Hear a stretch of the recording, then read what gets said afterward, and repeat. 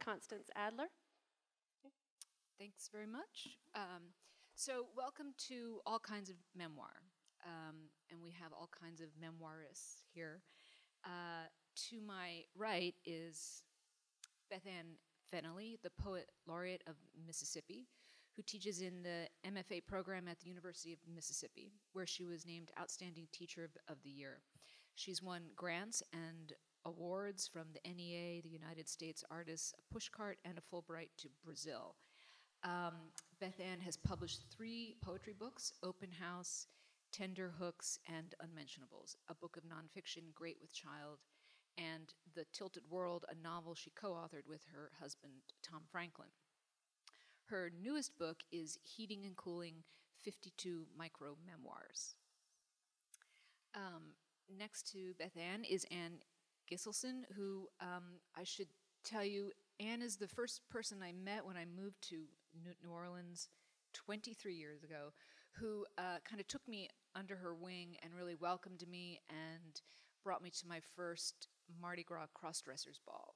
Um, so if you want to have some good stories to tell, hang out with Anne because things will happen. So Anne's stories have appeared in the Atlantic, the Oxford American, the Believer, Ecotone, the Los Angeles Times, and has been selected for inclusion in several anthologies, including Best American Non-Required Reading. Uh, for years, Anne was the chair of the creative writing program at the New Orleans Center for Creative Arts. In 2005, she co founded Antenna in New Orleans, where, where, she lives. Her, her memoir is The Futilitarians Our Year of Thinking, Drinking, Grieving, and Reading, which was published last year. Um, next is, oh, you guys have switched seats. Okay. All right, that is definitely Rick Bragg. Um, Rick is the author of many best selling books, including All Over But the Shoutin', Ava's Man, The Prince of Frogtown, Jerry Lee Lewis, His Own Story, and My Southern Journey. Rick has won a Pulitzer Prize and a Nieman Fellowship for his work as a journalist. Currently, he teaches writing at the University of Alabama. He writes for Garden and Gun magazine, Southern Living, and he lives in Alabama. Forthcoming in April is his memoir, The Best Cook in the World Tales from My Mama's Table. Next is uh, Minrose Gwin. Like the characters in her latest novel, Promise, Minrose grew up in Tupelo, Mississippi. She began her writing career as a newspaper and wire service reporter throughout the Southeast. Her civil rights era novel, The Queen of Palmyra, was a Barnes & Noble D- Discover Great New Writers pick and a finalist for the John Gardner Fiction Book o- Award. Minrose is also the author of cultural and literary studies books that focus on racial injustice, namely re- Remembering Medgar Evers, Writing the Long Civil Rights Mo- Movement.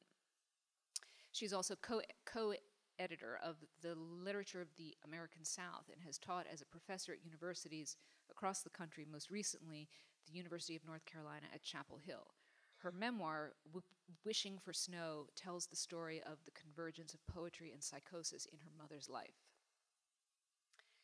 So, I, I would like to begin um, by talking, or asking, I should say first, you to talk about the the various forms that your that your memoirs take. What what I noticed when I was reading to get ready for this panel is that you each have um, crafted what I would call a kind of scaffolding for the memoir to to to hold up the memoir. Uh, in one case, in Rick's case, it's recipes. Uh, in Beth Ann's book, it's very compressed um, prose poems, I guess I'd, we, we we could call them, and Minrose wrote about her mother's poem and uh, worked her memoir out through um, meetings of a of a, uh, a book group. And so what I what I was sort of curious to know about is did you have the material first and then look for a scaffolding to hold it up or did you start with the form with the idea of a of a scaffolding and then shape the material to fit that and if you wanted to first start just by telling everyone just a few words about what, what your book is so they can know what, what you're talking about. Do you want to go first, Beth? Sure.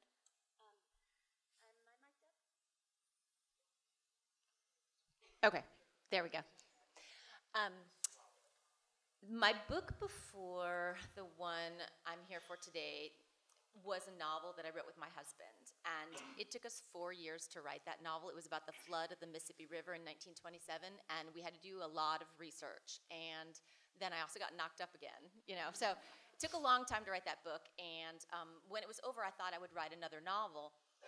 But I, I kept not writing a novel. I would go to my notebook and I would just put down like weirdo little thoughts or things I'd overheard or crazy little ideas that were flitting through my head. And I kept waiting for them to add up to something.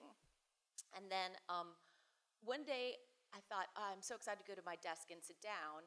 And I recognized the feeling of when writing is going well before I recognized the writing.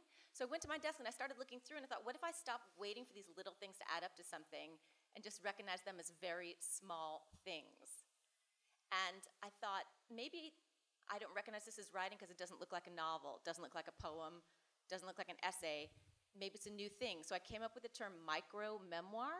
And once I came up with the term, it helped me think of what I was doing. And I, I asked if it would be okay if I just read one because they're really short and it'll give you a sense of, um, of what I'm doing, and, and, then I'll pass the microphone on.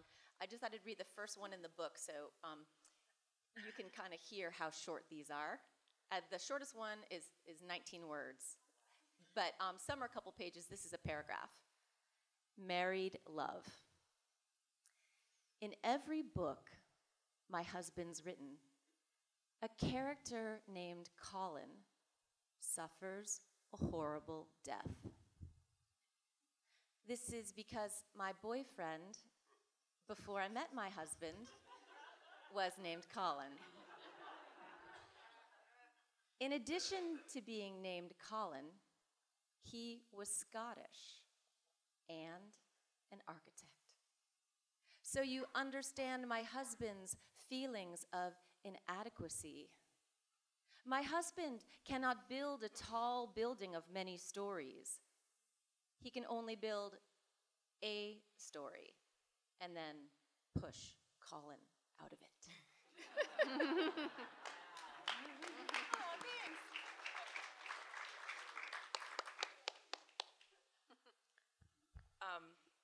My book is called The Futilitarians, and the subtitle is Our Year of Thinking, Drinking, Grieving, and Reading, and that's basically there you have it. That's the uh, that's the book, um, and it, the structure, the scaffolding of it, it takes place over a year, and so there are 12 chapters for each month. So January, February, uh, March, etc. And um, in the beginning of January 2012, um, like the first week, actually, it was the day before the Epiphany, we started an existential crisis reading group with some friends because it seemed like people were going through a lot of stuff and just needed something like that.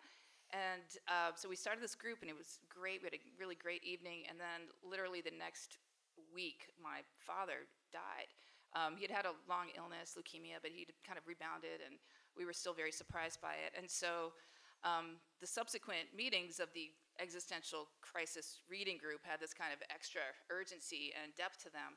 And um, after about halfway through the year, uh, I realized that um, that I probably should start writing about these experiences because everything, each of the readings had a special resonance with loss and some other family loss that we had experienced. Um, and also, I knew, unlike other very long projects, I had had two long book projects that didn't really go anywhere at all. Um, this one had an end to it, which was December. So I knew that there was kind of this finite place that I could write towards. And, and it helped me deal with some of the, the, the very difficult subjects that I had never dealt with before, including the, the suicides of two of my sisters years before. So I was, um, so having that, like, it really was a scaffolding in the sense that it allowed me to write something that up until that point had been extremely difficult to, to write. Uh, was the baby Tommy's or was it? What's his name? He, he looks a lot like you, Rick.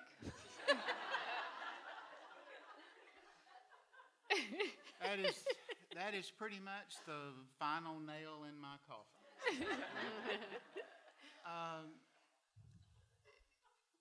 I, have always uh, Southern Riders, and, and, I think it's hilarious when Southern Riders. We were talking about this at lunch. Uh, when Southern Riders say, "I'm not a Southern Rider," think that's just hilarious. You know, like, you know, I talk like this, so what am I going to be? the great Swiss writer Rick Bragg. but, uh, but I, you know, I, all Southern writers are going to do either a food memoir eventually or a dog book. That's just what you have to do. There, there's there's got to be. It's either going to be chicken and dressing or it's going to be a dog. And I plan to do the dog book next. but uh, I, I knew that there are always stories. I mean, those of you, how many of you, by show of hands, are from the South? Right. All right. Uh, how many of you ladies have married a Southern man? How many of you got a good one? How many of you are lying? So, you know, the stories are, are bottomless, I think. And I, and I do mean that. They're bottomless. And sometimes tragedy is part of that forever fall. And sometimes, you know, that makes you laugh out loud. But the stories are, are you know, there's just bottomless. Every time we sit down to eat, there is a story. And, you know, my mother's memory for 1942 is so much better. You know, she can't remember to take her medicine, but she remembers 42, 43, 44. So those are bottomless. The, the, the problem, so that was my scaffold. Um, the problem was, was believe it or not, you know, I, I wanted it to be a, a real food memoir. So it's a narrative. But again, that was easy. The problem was the recipes because they're not, they're, they don't make any damn sense. you know, I, I said, I, you know, I said, Mom, how much did you, how much flour did you use? Well, a handful, but a good handful, which is, which is a handful and a half. I did the arithmetic. And, and, and, and, you know, how much salt do you use? Well, you know, hun, some. What in the hell is some? And so, so the real, it took five years to do. The, the, the narrative could have been written in a year and a half, two years. The, the recipes took forever. And, the, and people love to say, Did you try the recipes? Well, hell no, I didn't try the recipes. I'm afraid to. and, and, and if we can, we can,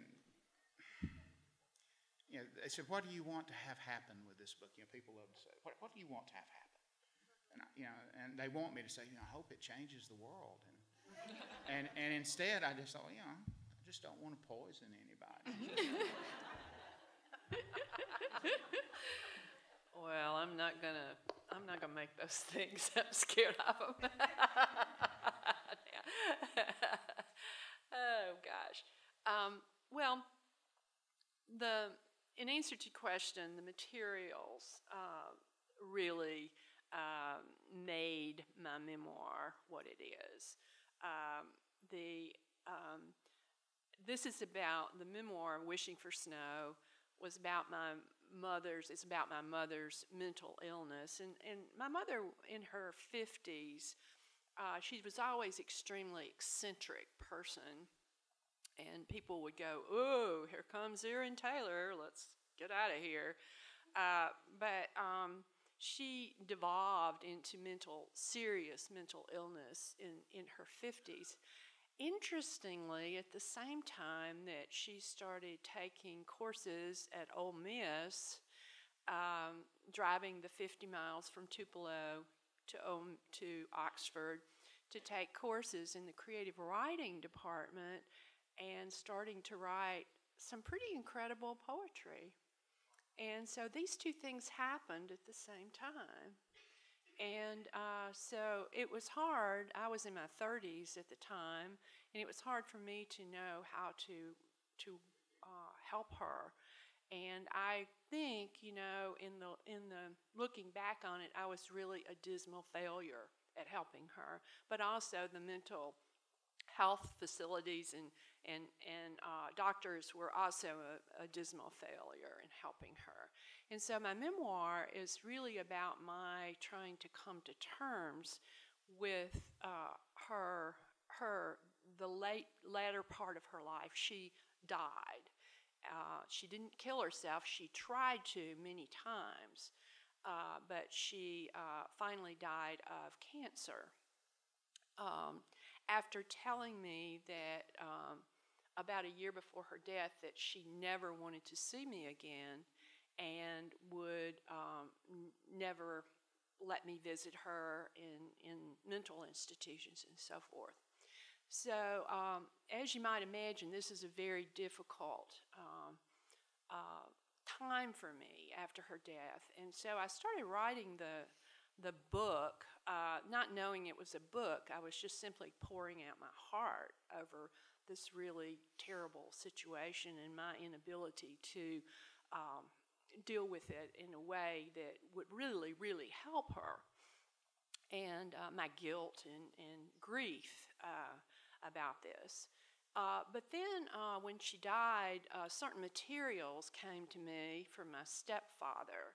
Um, her poetry, uh, some of which had not been published. She was publishing in journals at the time of her death, but uh, well, not at the time of her death, but you know when she went through this period earlier, and um, and so um, I, I started thinking, I need to have her voice in this memoir too. It doesn't just need to be my voice, it needs to be her voice. So I started inserting some of her poems in, the, in my book and writing kind of toward those poems and away from those poems. Then I thought, oh my goodness, you're appropriating your mother's poetry for your own memoir, you know? Uh, you must um, collect this poetry and put out a book so I did that. I stopped everything and I did that. Then, though, um, the thing that was really helpful to me was when my stepfather died, I received a copy of her diary when she was eight years old, a little girl growing up in Mississippi when she was eight years old.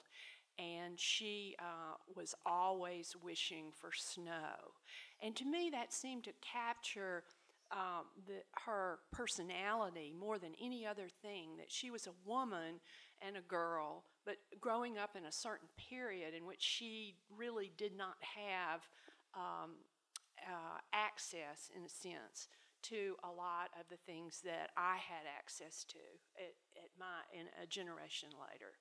And so um, what I did was I inserted these little snippets from her eight-year-old diary at the beginning of each chapter in addition to her poetry in the in in in the volume, and so um, that that gave it much more structure and also this kind of driving voice of hopefulness that my mother had and creativity that she had of always imagining something uh, that was truly kind of impossible, or at least if it did snow in Tupelo, it was going to melt, you know, in three minutes. So, anyway, that's my that's my story it's interesting because that's something that your book and Rick's book have in common is that it, the books almost read like a conversation between the narrator and the mother character.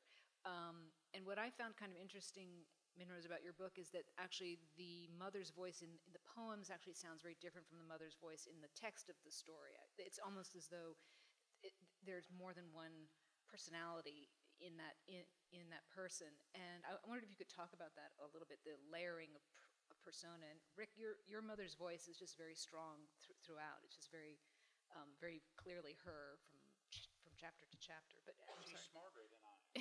so that, Yeah, my mother was smarter than I than I am too. Um, as as to um, as to the diversity of her voice voices, um, I also, in addition to these, um, in addition to these written things of hers, I created a mother. I always felt when I was writing this memoir that my mother was on my shoulder, uh, whispering in my ear or shouting in my ear, kind of like uh, Virginia Woolf wrote that that the angel in the house, the the perfect uh, woman of her period, was always on her shoulder, uh, whispering in her ear, and she had to kick the angel of the house out. Um, but I, I tried to give that a voice, uh, her a voice too, and I called her the Erin on the futon because I had a futon in my in my writing um, room at home, and um, it served as an extra bedroom. And so um, my mother was uh, always sitting on there, correcting me as I, as I was writing the memoir, and I, I brought that voice in too. So the yeah, she was she uh, was diagnosed finally as paranoid psychosis with paranoid psychosis, but she did have many different voices, and I was mm. trying to capture. Mm. So, Rick, do, do you feel as though you were recording a private conversation with your mother, or, were, or when you record her voice in your book, do you feel as though you're introducing her to strangers? And let, let what what is your sense of that? Well, the, I guess the, I guess the introduction came a quarter century ago, I guess, mm-hmm. when Oh, right. we did mm-hmm. All Over But Shouting, and, people kind of fell in love with her, and, and, um, I'm very lucky, and my mama is still with us, you know, she's, she's, you know, but she had me young, she's only eighty-one, so she's, you know, but she, uh, the reason I did this one was because she had gone through a terrible bout with cancer and uh, and almost died. And she's almost six feet tall. She went down to 114 pounds. So you know, so she was. We almost lost her. And uh, I've gotten uh, used to having her voice in my life. And so the reason for going back to that particular well was because, you know, the same reason that old quarterbacks love the game more at the end. I know she and I, you know, my mom's going to live forever. She's going to be 115 and throwing sticks of firewood at my dog. You know, I came home the other day and she doesn't like my dog, and she was throwing little sticks of firewood at him off the porch. And for an 81 year old woman, she can sidearm a stick of firewood. I mean, was, but uh, but I I walked into her kitchen when she was in the hospital, and and at that time it was touch and go. And I walked into the kitchen, and it just occurred to me that this is cold and empty and quiet. And it's never been in my lifetime cold and empty and quiet. And I thought about, uh, you know, I thought about like birds on a on a wire, and how you look at them and there's all this life and vibrancy on the wire, and then when they fly off, it's just this black line on the sky. That was what that felt like in that room, just a black line uh, you know, of counters and stoves. So, uh, you know, it was a chance for me because we don't run out of stories. It was a chance for me to to deliver those stories. The vehicle the recipes were almost. I thought they'd be inconsequential, but man, you can't write a. You actually have to try, and but I I wanted her voice to have one more vehicle, and uh, and that's why you know this book came out. And I didn't expect it to be 500 pages of vehicle, so I might have got carried away. I, I was very intrigued, Rick, by your book that the, the recipes originated not with a distant matriarch, but with the patriarch. That it, Yeah. that- rightly or wrongly, we, I expect the recipes to come down through the line of Yeah. mothers, but it didn't. It came from a great great grandfather. No, my, my great great grandfather's name, and I'm not making this up. His name is Jimmy Jim Bundrum. He had two first names, and Jimmy Jim, and he he was uh, he, and there's no way to sugarcoat it. He killed a man. Um, he also bit this fellow's finger off one time and brought it home and put it on the mantle. And, uh, but but but he he he killed this man at a place called the Mill Branch. Again, a, a wonderful story of the ghost haunting that mill branch, you know. And, and he killed this man. He had to flee, so he went to Georgia, up in the mountains of North Georgia. And my grandfather, his son, in the meanwhile, he was my great grandfather, uh, married my grandma Ava, and and she could not cook. And he was skinny to begin with, and he just became emaciated. I mean, she saw no point. She didn't eat because she was a little bird-like woman. You know, those people that say, you know, I just forgot to eat. And, and she, he was starving. And, and he, and he, he started getting women in the county to come and try to teach her to cook. And she was so strong willed and a little bit crazy that she ran them off. She was very, very, very petulant and angry. Little mean, nasty little woman walking around, but, but pretty, which is why he married her. And this story has an end. And, uh, and uh, my grandfather finally said there, there's maybe one person in the whole world who is mean enough and tough enough to, and is a great cook. So he got on his mule and he rode into the mountains of North Georgia. It Took a day, two days, and hunting for his fugitive father. And he found him, you know, and he said, the daddy looked at him. He was sitting next to a lean-to. He'd been living like an animal up there. And he, he looked at his boy and he said, son, you look thin. And my grandfather said, Yes, Daddy, for I have married a beautiful woman who cannot cook, and I am starving to death. and his daddy took pity and went back down the mountain on back of the mule. It was a gray mule, I was told, to get that right. And uh, and that old man and that young woman fought and fought and cursed and but eventually became best friends, you know, in the kitchen.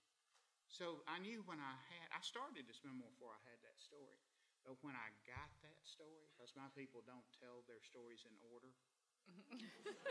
but when I got that story, and every writer knows, and every reader knows what this is like, there's that moment when you get that one nail seated up good, mm-hmm. and you know the whole wall can hang on mm-hmm. on that, and that's what that was. I'm sorry, I didn't mean to take that long to tell that.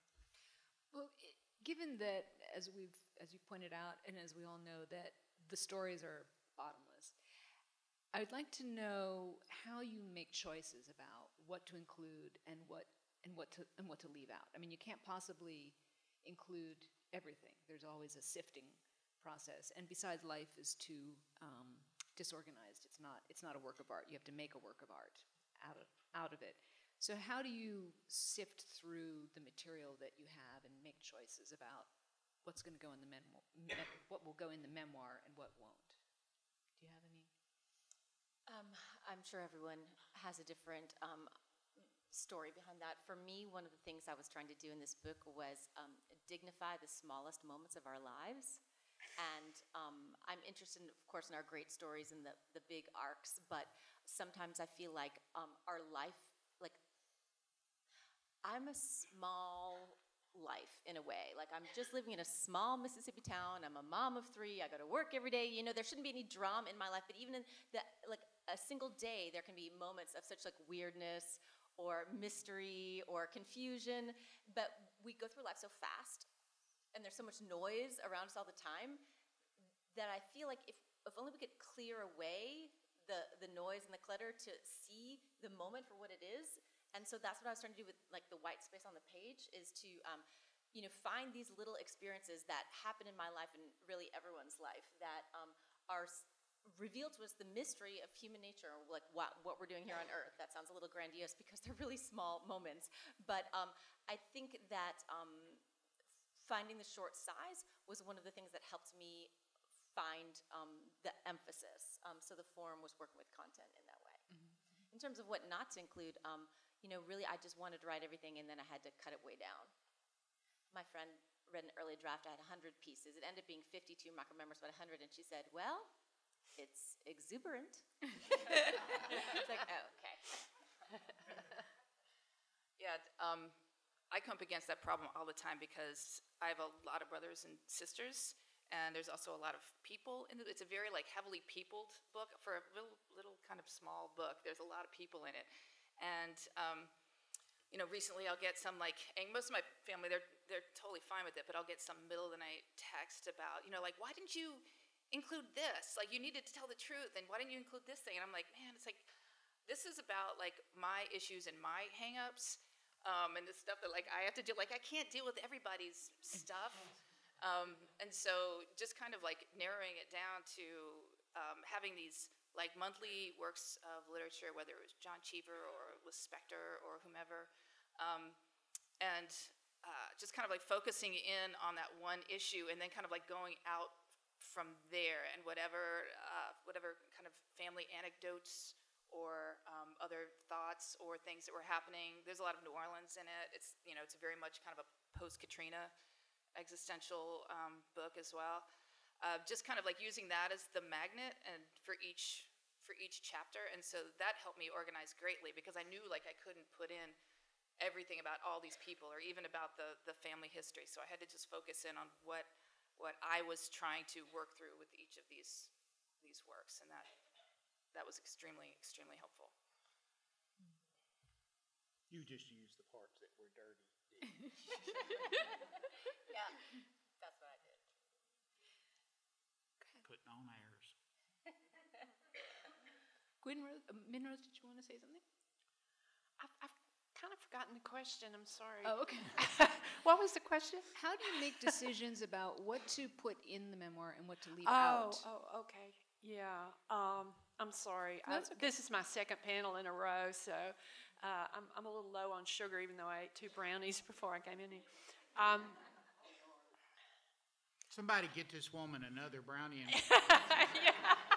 and, and bring her some extras. I need, I, I, yeah. I need some of Rick's mother's uh, cooking here.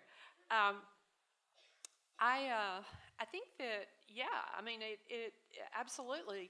Um, I, I see my, my memoir is kind of a spiral. Uh, you know, it, I'm kind of, I had kind of a visual um, sense of things, and so it's kind of a spiral because it's not in any kind of chronological order at all. It it just goes from one one episode to another episode, and then memory will kick it back. Um, but one thing that um, uh, kind of gripped me by the throat in the middle of writing it was I felt I felt you need to write about your own self as a mother. You know, your mother wasn't perfect by any means, but neither are you. and um, and and so I I started um, thinking about I started uh, thinking about my daughter. By then was in college uh, when I was writing this book, but I was thinking about how uh, I had, you know, uh, I think parents uh, always fail their children in some in some ways. You know, uh, we're all human, and we I think we all do.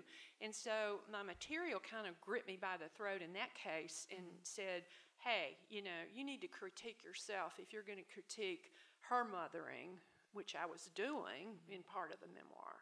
Um, you need to cr- critique your own mothering too. Let's be fair, fair and square here. You know, there, there's something that I read um, a couple of days ago that I think per- pertains to memoir, which is um, there is a there have been some archaeological digs going on in the in the French Quarter recently, and one that I that I read about the the people who were doing the excavation um, were digging down underneath a building that had been standing there for more than two, 200 years, and so they were looking into soil that hadn't been touched in over two, 200 years. And as they dug down about seven feet or so, they would encounter layers of soil that would um, correspond to certain moments in the history of the French Quarter. And at one point, they hit a layer of ash that corresponded to the fire that happened in 1788, I think that almost leveled the entire French Quarter. And the people who were doing the digging said that when they got to that layer of ash, they could actually smell smoke that um, that and I just thought, how does a smell stay underground for 230 years? I just I was so struck by, by by that, and it occurred to me that that is what memoirs do. That you you just sort of start digging in, in into your own soil. Um, so you go looking for it. You go looking for the past, but every so often the past just seems to rush rush to you in this very visceral way. And, I, and I'm wondering if you ever had an, an experience like that when you were working on your, your, your memoirs where something just came to you that you weren't expecting or that just grabbed you, as you say, grabbed you by, by the throat. Or were there other, did, did the others of you ever have an experience like that? Where, where a, a memory wanted to be written about that you hadn't, it hadn't occurred to you that you would write, write about? I think the people that you're writing about, um, um, you know, writers a lot of times become writers because it's the only job that's pretentious enough to allow them to proceed sucking in oxygen. And I think we want to, you know, we, we, we, we, we, it's always a journey of self-discovery. I found that, that, that, that, that memoirs really tell you exactly what they want to tell you. Hmm. They tell you exactly what they want to tell you. They tell you the volume of it. They tell you the depth of it. They tell you the, the, they, the pain that they release is the amount of pain that they want to release to you. I'm not being cynical. I'm just, mm-hmm. you know. And often that is very dead on. You know, often that is very accurate. Um, uh, I, you know, the, the, the new book is somewhat, it's still got plenty of grit in it. You know, there's death and dying and fighting and killing and loving. And, but there's, um, you know, the, the first book, you know, quarter century ago was, you know, my mama was my hero because my daddy was not. And, and I tried to dance around uh, his cruelties. I, you know, I tried very hard to, to be vague, not to plumb the depth, but to be vague because I thought it being vague and bland where those cruelties were concerned and that violence was concerned. I mean, this is a man who killed a Chinese soldier in Korea by holding his head underwater. So, you know, who raised fighting dogs for the pit. So, I I tried to to to, to spare my mom in the memoir by being vague, and and she read it and she liked it, but she pointed at that that one page and said, "You make it sound like he is mean to me all the time." And what I'd done was I'd done what I think Hank Williams did for my people. I'd, I'd pounded it out, not to put myself on a plane with the immortal Hank Williams, but you know, he kind of pounded out our grief so we could stand it.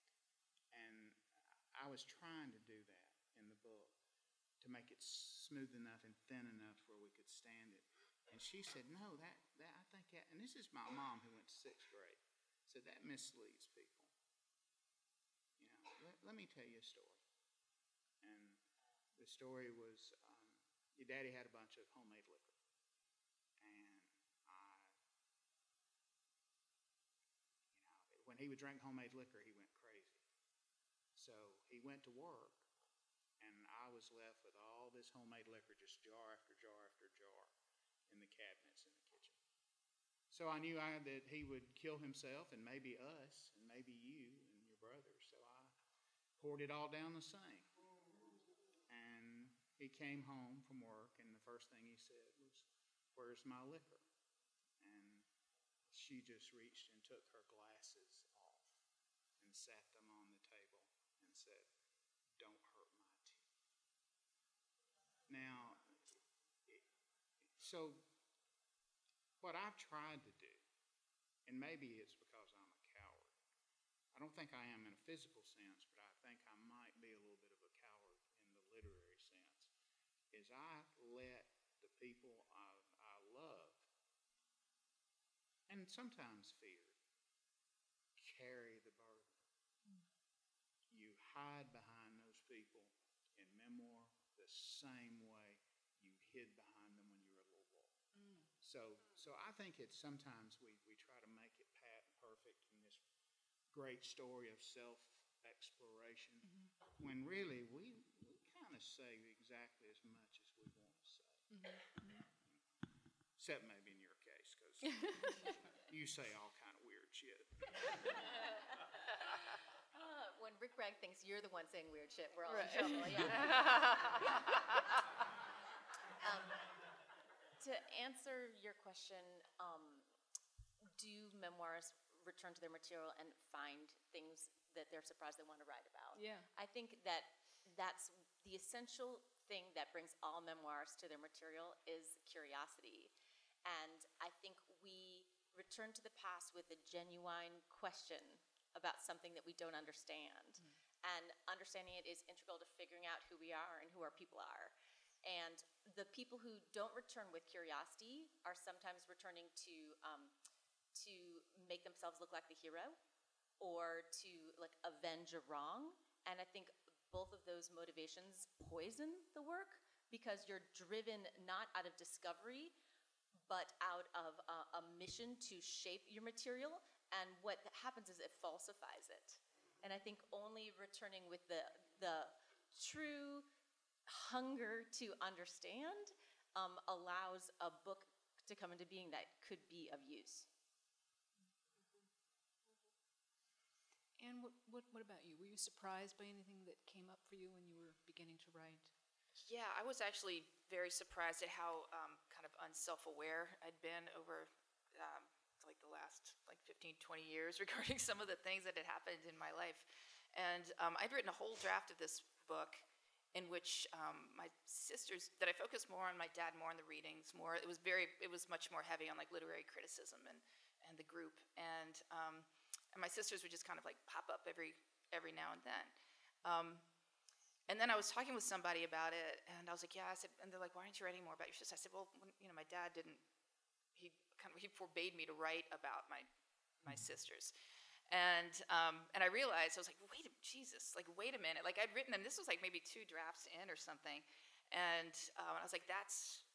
I realized like that's that's what the story was. And as I was writing about my dad, like there was a reason why they kept popping up because whenever you have a death in the family, all the other deaths, all the other ghosts kind of like reassert themselves um, in your consciousness. And so, like, their ghosts had been there all along, and I'd been so, um, you know, like, kind of been so delicate about um, writing about my sisters over the years because I didn't, I had no, I, it never seemed worth it to like try to um, to hurt my parents or go against my dad's, you know, wishes.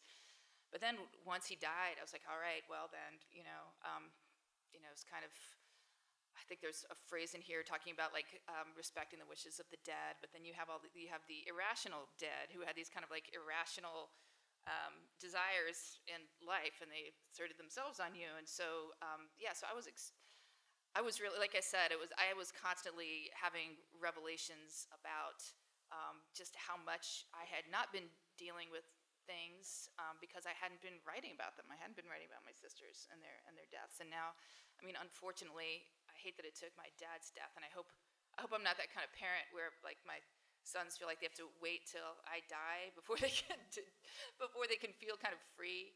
Um, so yeah, so that was that was definitely, um, and then just like bringing me back, like you meant, I love that that metaphor of the uh, that that smoldering layer that's there for just like years and years, um, and when you like hit something and unearth it, and it is this kind of like visceral experience. I'm sure y'all have had it, like when you're like writing intensely about a memory, and suddenly you can like smell the char, you can like smell it and, and feel it, and um, that that came up a whole lot.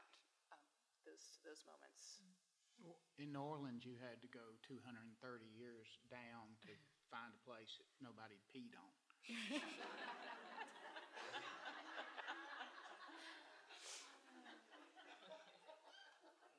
I like to bring every literary event to a highbrow. Raise that level. Did you want Yeah, I Go can, ahead. I can certainly speak to that. Uh, I was I was surprised by just about everything about my memoir and the writing of it, and and uh, Beth Ann's uh, thoughts about uh, uh, discovery and surprise. I think uh, it was so much a part of it for me. Uh, in, just as one example in particular, um, after my mother's death, I received, as I said, just some boxes and boxes and boxes of these musty, dusty things of hers, her writings, and um, I have a lot of really bad dust allergy uh, problems. And so I was living in New Mexico at the time, and I had to take these out. I put up a card table in the backyard, and I took them out in the backyard, and I spent a whole summer going over them and writing and going over them and writing. But um, in particular, um, my mother's deep inner life uh, just moved me and surprised me in a sense because you, you know, when you're a child of someone, you just don't think of them as having as as deep an inner life as they do, and it it kind of she kind of spoke to me through all of these things. She wrote letters uh, to many other poets, and she would write to famous poets and and express herself to them, and they would write back. And so, um, and she would write to fledgling poets who were in her creative writing classes, and they would write back, and they would they would exchange materials and all of this, and it I just found that so powerful. Um, uh, to, to listen to her letters to other people. I also found, and this was the this was kind of an excruciating surprise uh, to me. Uh, I also found um, all of my cards and all of my letters uh, to her after I had committed her to um, a mental facility unopened. Uh, none of them had been opened. And, um, and it was interesting to me to see, to open them and see what I had written to her after I had done that to her. Uh, and uh, I, I had to commit her twice. I was the oldest, her oldest child. She was married to my stepfather, but what he would do is he would um, and I live 600 miles away. I just had my first job at Virginia Tech after graduate school, and he uh, would call me on the phone and say, I can't take it. She's in the closet. She won't come out. I can't get get her to do anything. You're going to have to come down here and deal with her. And so, um, and my younger brother and sister were very damaged by her as a parent, and so they just could not cope with her at all, even though they lived much closer. So I would drive the 600 miles down. I would get the sheriffs to come and have to get her out because she was the first time I tried to do it myself. She tried to stab me with a pair of scissors. So, um, so her uh, her voice uh, in these uh, letters, these friendly voice, you know, a, a collegial voice, uh, was really kind of wonderful for me for me to be able to read and surprise me. Mm. So something else that um, that I've, uh, that I've, is true about you all as writers is that many of you work in other genres. Some of them, some of you come from journalism. Some of you write fiction. Some of you write essays. Um, given that memoir is as exposing as as it is, um, why choose memoir over an, an, another genre that you might work in, such as fiction? Um, why why choose that, or what is it what is it like to switch genres? Like why why switch genres? What does that what does that do for you cre- creatively? Um, Sure. My training is in poetry. I published three books of poems, and I could read you some poems, and you would hear them, and you would guess they were probably about me, and you'd probably be right. But when we talk about poems, we always say the speaker in this poem, and we pretend that there's a distance, and, and actually, quite often, that there is. A lot of people aren't writing autobiographically. Um, one of the things that I found actually oddly liberating about writing memoir was just owning the experience and just saying, and this is me you know, just taking away the mask and um, and dealing with truth telling. And I think I got more interested in that because of um, alternative facts and the age of Trump.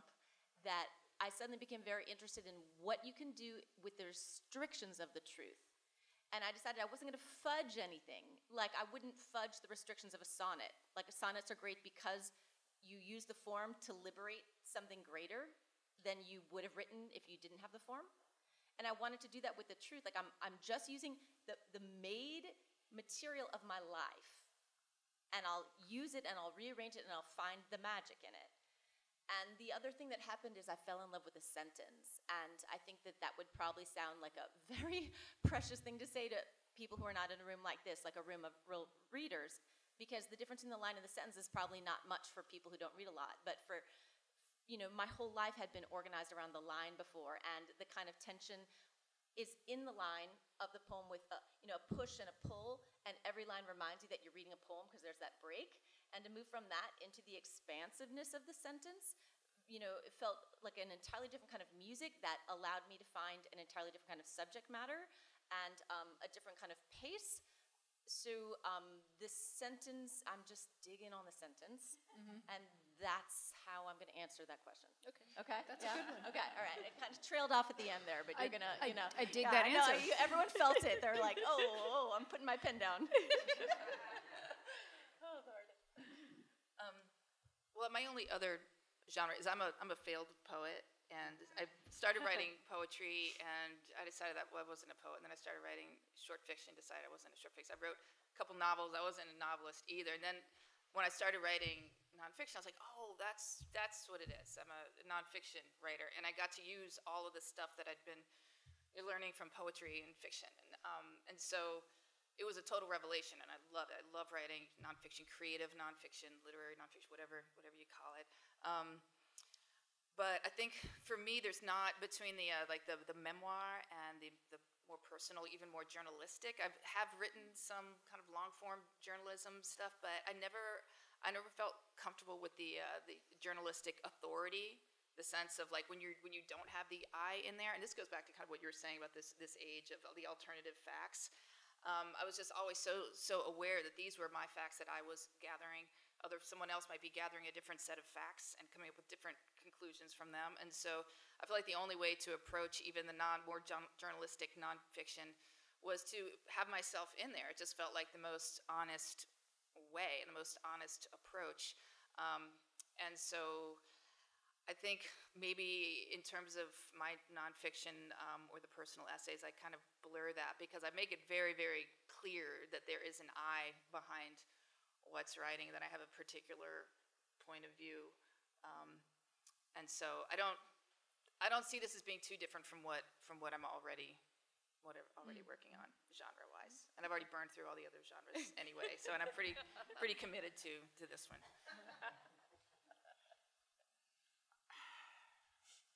Poetry. Tell us, Rick. Uh, Those those recipes are like poems, you know. right, that's exactly, that's it. My, my mom actually does poetry. She has a beautiful poem called That Damn Phone, written in a fit of anger because her phone rings all the time. And, and uh, but I, uh, and I was going to say something nice about you, but I'm not going to say it now. So you just sit there and be quiet.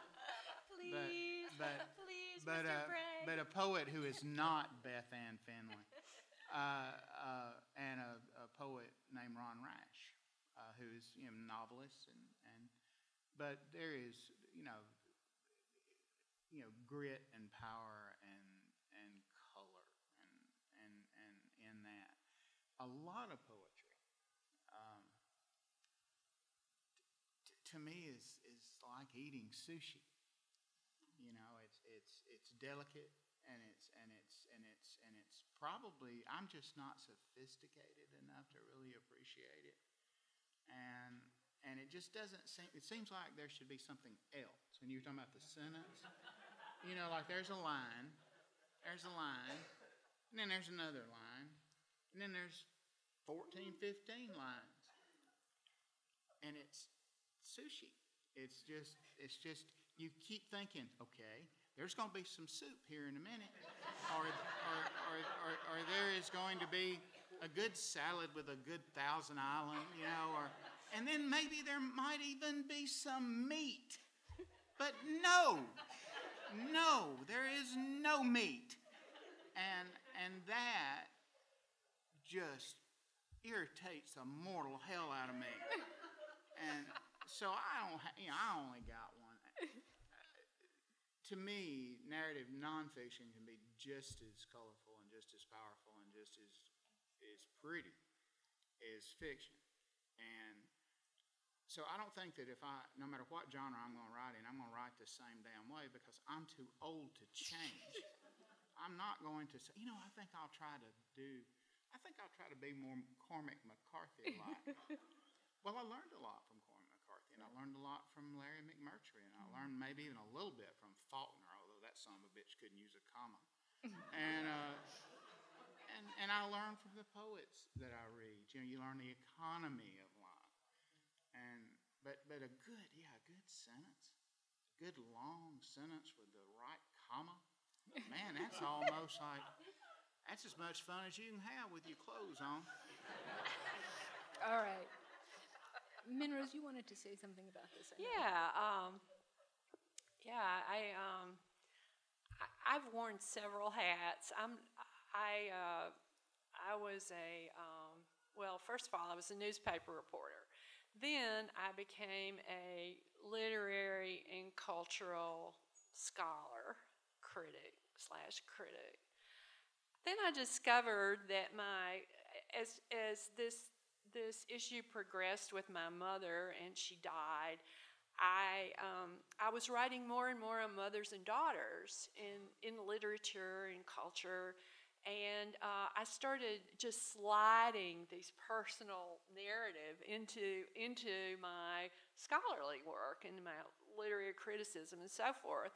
It just kind of started sneaking in there like a, like a, a stray dog, I guess, uh, to, um, to get back to dogs. And, uh, and then uh, I thought, I've just got to write this memoir. I've got, I, I, I, I didn't think of it as a memoir. I just thought, I've got to get this down. I've got to, I've got to get my thoughts together on this uh, because uh, this, is, this is kind of getting out of hand in my other work. And once I did the memoir, I, uh, I thought, gosh, you know, and, and it got published and everything. And I thought, gosh, you know, um, maybe I could write a novel. and so at the time, I was working on a book on, on the civil rights activist, Mississippi civil rights activist Medgar Evers. And I started feeling like, well, I can't quite get the sense of this period in terms of the human complexities here and the messiness of it all. I think in the summers, when I'm not teaching, I'm going to start working on a novel about this and set in this period. And it became it became my um, first novel, The Queen of Palmyra. And so, in any case, um, and then in with Promise, my new novel, uh, which is about the Tupelo, Mississippi tornado, the historically devastating tornado of 1936 in Tupelo. Um, that came to me through all of the stories that I heard growing up uh, in Tupelo. I grew up in my grandparents' house, and um, all of the, the wild and crazy stories that I heard uh, growing up uh, there. So it could have easily been a memoir or, or some sort of other form. But um, as those of you know, in New Orleans, uh, if you lived through Katrina, the and other or other hurricanes, that after after a terribly devastating storm, there's this massive confusion and and uh, pain and anxiety and and chaos that comes with a de- historically devastating uh, storm. And so I thought that I could best get at that with fiction. And so I've just kind of morphed along the way. Um, I've, I've wrote, written a few poems, but but I am a failed poet. I guess I would have to say. Let's hear it for the failed poets. so um, this is the point where we invite questions from the audience. There's some, there's a lady in the back who has a microphone. If you want, Raise your hand if you have a question. If you have a question. There's one over there.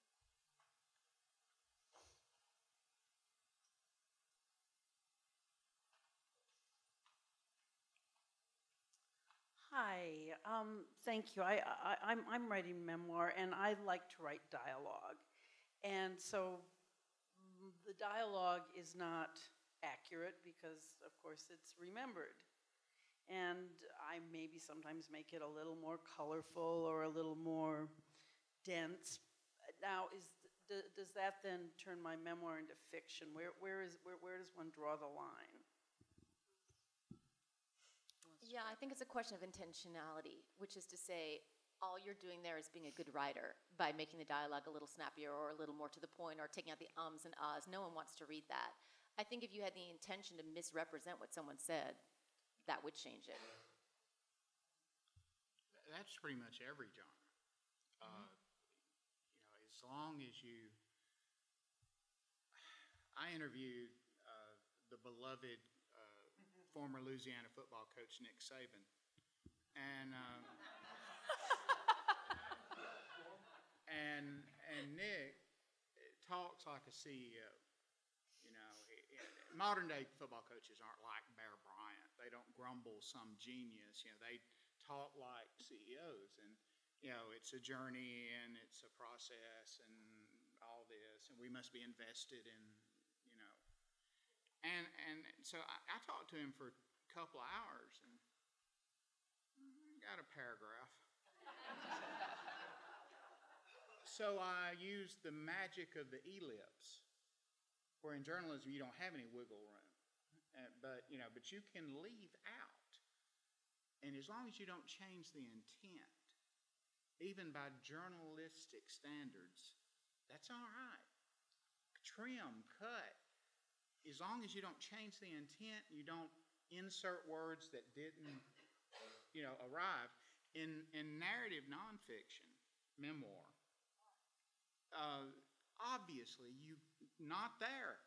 Much of what I get is is third person, and this is the way I do my interviews. Well, what he say then? Well, he said, "Get off the porch, you son of a bitch." And, and, and then what did he say? And then what did he say? And then what happened? And sometimes I will, and this drives a good editor crazy, but I'll weave in that, you know, I'll kind of be, I'll have a narrative or an episodic section, but the best of it is that dialogue. And third hand, 80 years old. Third hand, 80 year old dialogue. That's the only way to do what we do.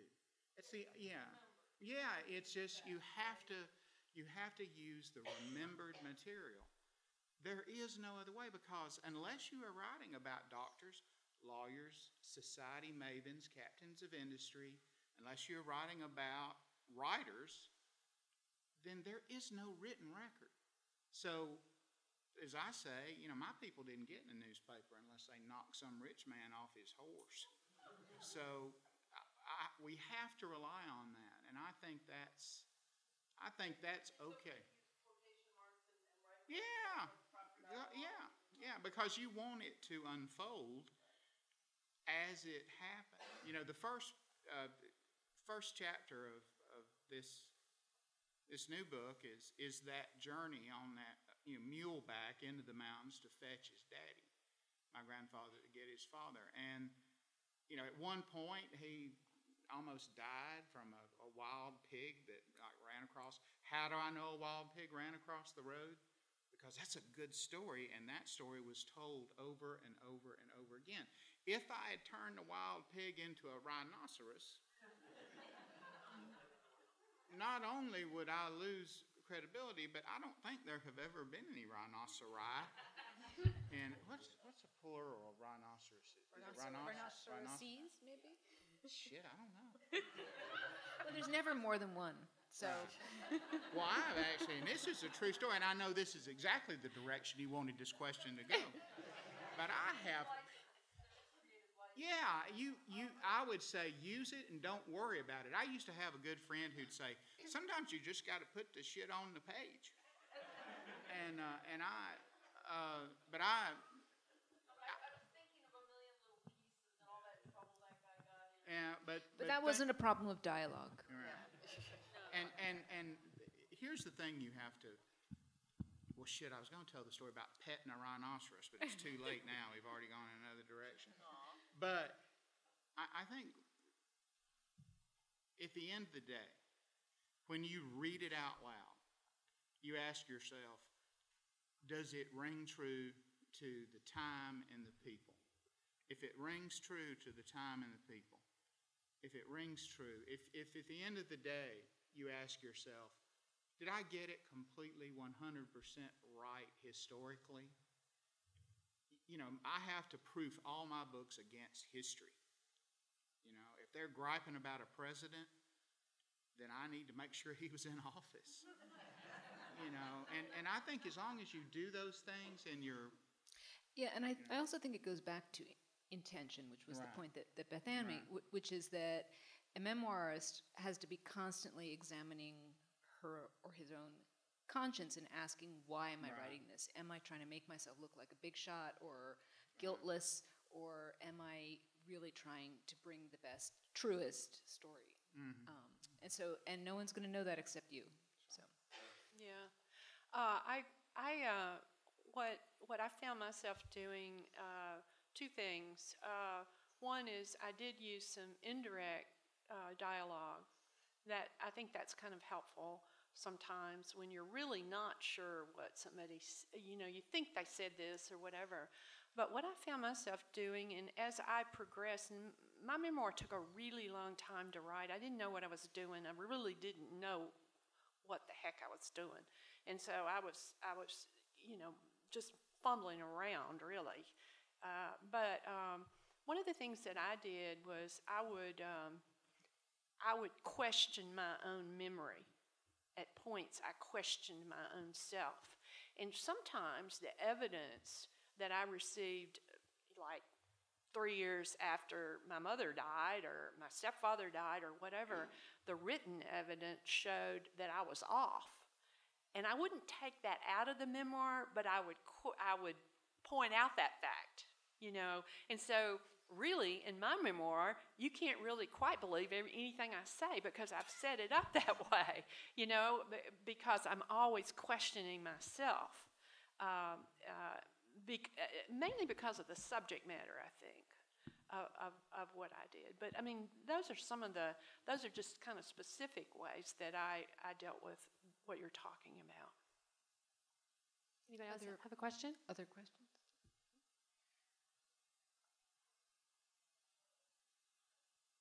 I was just wondering if, in the process of your writing, uh, if, if you're writing your memoirs, if any of you ever came across a, a story or an anecdote that you felt like needed to be told, but there was a person involved that you felt needed to be protected, and how you went about doing that, whether it was just a name change or you did it some other way, and how effective you felt like it was after the fact.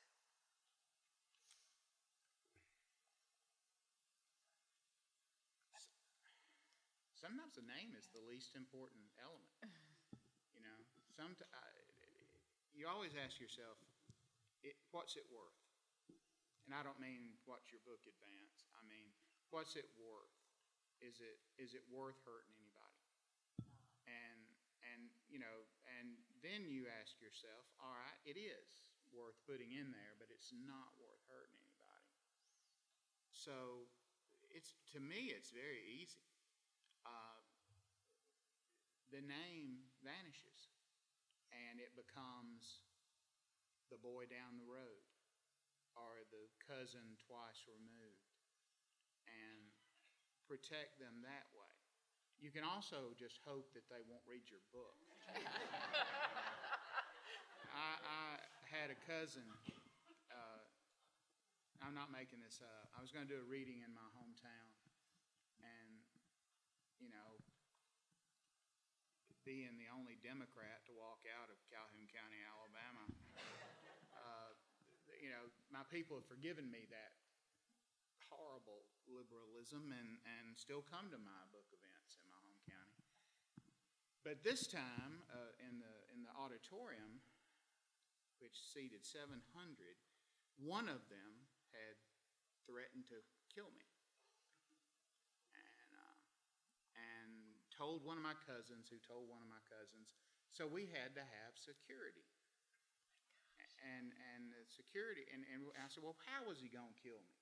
Because you know, Because shooting me from, shooting me from a, a distance is a terrible thought if you live out in the country, you know, which we do. I mean, if you were like trying to feed a Hereford and somebody shoots you, that's a grim way to go. But, but he said, no, no, he wants to get right up on you. He wants to cut you. So, this is my cousin. I'm not making this up. Carlos Slats. Named after, yeah, named, named after, no, Carlos wasn't going to cut me. Carlos warned me of the cutting. And, and, and, and he, he was named after a box of Mexican apples his daddy bought in 1937. And uh, the only Carlos in all of the mountains of northern Calhoun County. But he, true story. He, he said they're going, you know, your cousin, cousin so and so, is going to cut you, and and and, uh, and and I said, well, should I worry about it? And he said, well, he's mad at something you wrote in your book. And then he said, then come to think of it, he can't read. and, uh, but I had to do the whole talk with these big old. And I'm a pretty good sized boy, but these you know, Alabama a- law enforcement. They Memoir is a big. dangerous game. Yeah, so they did the whole talk, and then that, then he didn't even show up because it would have made my writing career to have received a minor flesh wound Yeah. and, and then wrestled the knife away from him because he'd have been drunk. That would have made my writing life. I don't. I only wanted to do two things in my writing life. I wanted to meet Dolly Parton, you know, and and and fight for my life at a writing thing. And and now Dolly Parton's all bone and wire, and and and I'm getting too old to fight back. That probably wasn't the question, though. I think we have one minute left. Are we done? We have one minute. Well, that ought to just about do it. You can answer a really quick question.